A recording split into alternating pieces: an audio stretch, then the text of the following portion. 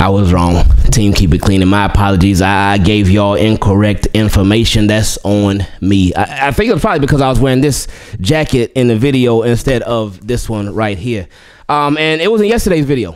In yesterday's video, where we went over the USA Today article where it talked about the Ravens' potential cap casualties, and I had the dead money. I had it all messed up. Uh, so that's on me. My understanding was that with the cap savings that that was the positive number and the dead money was the negative number. And in order to get the accurate number of what the relief would be you take away the negative number from the positive number. And whatever the total or the, the result of that is then that will be how much money the ravens will save on the cap. But that was wrong and we're gonna break down exactly um, what the right answer to that would be uh, we're gonna get this thing corrected. So my apologies again, y'all, to anybody who I confuse because I, I, I never want to do that. I don't want to confuse y'all. Y'all know I be I be confused myself enough times. I don't want to confuse y'all too. Um, so my my apologies on that. But let's get the right information out there. And real quick, shout out to y'all in the comment section that corrected me, and shout out to my guy Jason from Huddle It Up Films. I was just talking to him for a while, and he gave me the breakdown and stuff, and I was like, oh my goodness, thank you, because now I get it, and it makes that much more sense. So I appreciate him big time. I appreciate y'all big time. Real quick, subscribe to the channel. Uh, and I know some people like I ain't subscribing to that guy. Gave me the wrong information. So my apologies. My apologies. But um, subscribe to the channel. Turn your notifications on. So when we do get stuff right, and like I tell y'all, like look, it's gonna be a lot of stuff that we get wrong, man. Straight up, we, we gonna get some stuff wrong. It happens, but I am not somebody that's afraid to say, "Hey, I was wrong." I was wrong about that.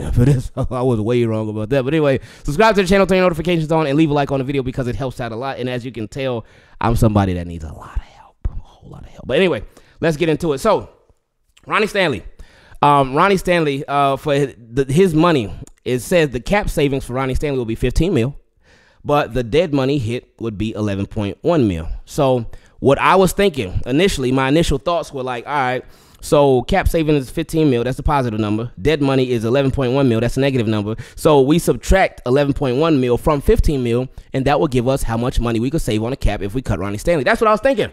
That's wrong. That's wrong. The cap savings is how much the Ravens would. That's that would be the relief that they would get on the salary cap. Now with the dead money, the the way that you can make this make sense, the way it makes sense to me, if you take the cap savings and you add it to the dead money hit, so that's 15 mil plus 11.1 mil. Ronnie Stanley's salary this year is 26.1 mil. His salary, the, the salary of the player is the cap savings plus the dead money hit combined. But um, the dead money hit is just money that you you can't get back. It's like guaranteed money, whatever bonuses they got and whatnot. But that's money that the Ravens cannot get back if they cut that player. But if they cut that player, they would get the cap savings back. So Ronnie Stanley was the first example. They would save 15 mil on the cap. They would get that money back but they would just lose that on 11 mil. Now, the way that they could do that with the dead money, you have the option to spread that dead money out. You have the option to put it all on the salary cap this year, or you have the option to spread it out over the next couple of years. Um, the way that you can do that, uh, you can spread the money out by designating him as a post June 1st release. And if you designate a player as a post June 1st release, and you have the option to do this with two players before June 1st, uh, after June 1st, you can do it with whoever you want to.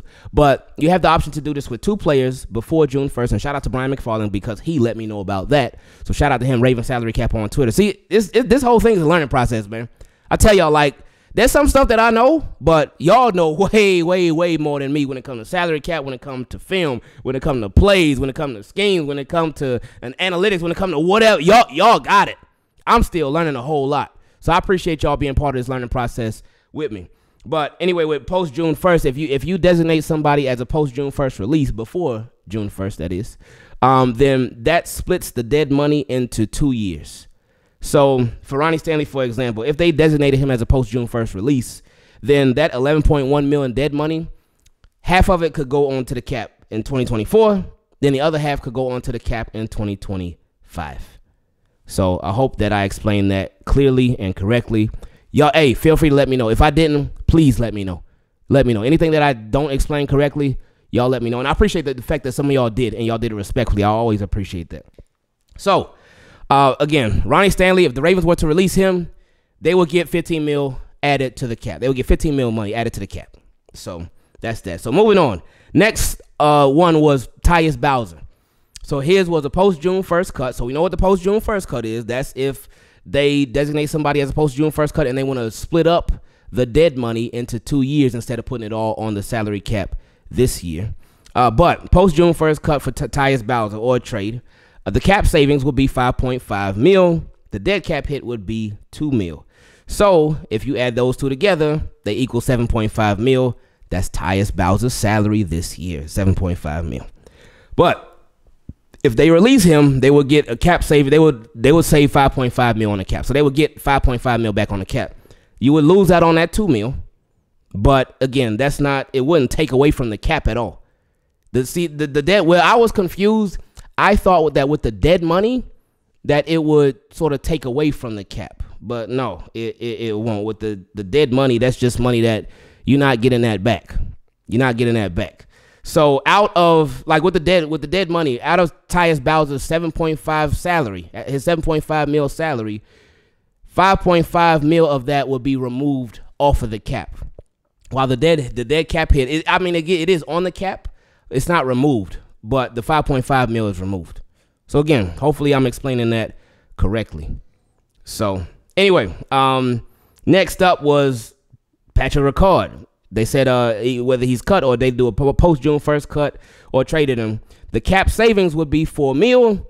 The dead cap hit would be 1.1 mil. So his salary this year is about 5.1 mil. If they cut or traded or released him, they would get four mil back on the cap. So his his his again, he is due 5.1 mil. Again, let me make sure I'm explaining it right. He's he's making about 5.1 mil this year. But if they release him, they will get four mil back out of that 5.1 mil that he's making. So get it? I think we got it now. I, I I think we all good now. So I think we all on the same page. Again, if I'm explaining something wrong, please let me know. But continuing. Uh, so if they did a cut or post June first cut for Morgan Moses, offensive lineman at right tackle, the cap savings would be 5.5 mil. The dead money would be 1.46 mil, so about 1.5 mil. So he is making about seven mil this year. Yeah, he's making about seven mil this year. So they will get 5.5 mil back added to their cap if they released Morgan Moses out of his entire salary.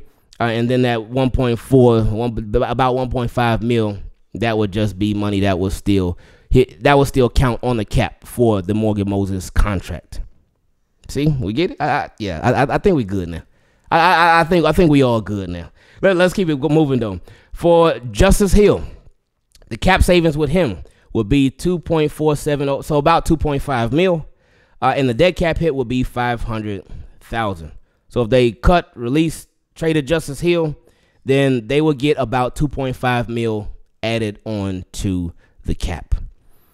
Uh, with Patrick Mekari, for cap savings for him, it will be 4.35 mil. Um, so a little under 4.5 mil. The dead cap hit would be 2 mil. So his salary must be about 6 point about 6.5 mil, a little under 6.5 million dollars. Wow, these dudes make a lot of money. But anyway, um, if the Ravens cut him, they would get back on the cap 4.3 about 4.3 mil. Uh, and the dead cap hit, they they wouldn't be able to take that 2 mil off the cap. So we getting it now. Marlon Humphrey. This this was one where I was like, it doesn't make any sense because we would again the way that I thought that it went before. It was just I had it completely wrong. But Marlon Humphrey, the cap savings with him, uh, it would be 11.75 mil.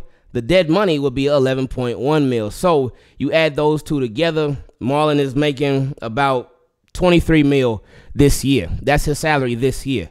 But if the Ravens were to cut him, then if they did a post June first cut on him, they could split up that 11 mil, that dead cap hit. That's 11 mil. They could split it up, maybe do like 5.5 this year, maybe 5.5 next year. However they split it up, they could put some on this cap and they could put some on next year's cap, so they could sort of spread out the hit. So they could they could spread out the loss. So it could affect. That's that's why teams do the post June first cuts because when you designate somebody as a post June first cut then that allows you to spread out that dead money. Uh, so you don't have to put it all on this year's cap. You get to spread it out a little bit. But anyway, if the Ravens were to cut Marlon Humphrey, then that would save them uh, about 11.7 mil uh, on the cap. And then the last, but certainly not least, was doing a post June 1st cut for Mark Andrews. And with Mark Andrews, the savings would be 11 mil. The dead money would be about 5.9 mil, so about 6 mil. So Mark Andrews must be making about about about 17 million, a little under 17 million this year. That's what his salary is. So if the Ravens were to cut him, they would get 11 mil back, but they would still lose out on that 5.9 mil, and they would have the option to spread it out. Ooh, that um, that made my brain hurt. Uh, like, oh my goodness. But again, it's worth it because now we have a better understanding of how exactly how that works. Um, because boy, I uh, whew, I sure got it wrong last time. Oh, and I and I hope that I understand it right now. I think I do. I'm pretty sure that I do. Um, but I know if I don't, I know y'all will certainly let me know. But yeah, it, it makes it makes more sense now. Um, as far as when I would be seeing like cap savings versus dead money and this and that, and it's like, oh, okay, we get it now. So again, my apologies to y'all. I, I hope that that made it clearer. I know for some people they like, oh man, that that didn't help at all, buddy. So my apologies though. I appreciate y'all being patient with me. I appreciate y'all just I appreciate y'all a lot. Um very fun week ahead, very busy week ahead. Uh as y'all already know, but this should be a great week. I love you. I appreciate you and we out.